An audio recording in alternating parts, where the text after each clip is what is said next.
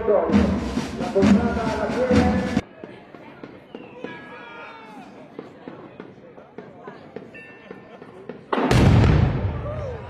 ancora di più anche la Cariola per poter non bella questa gara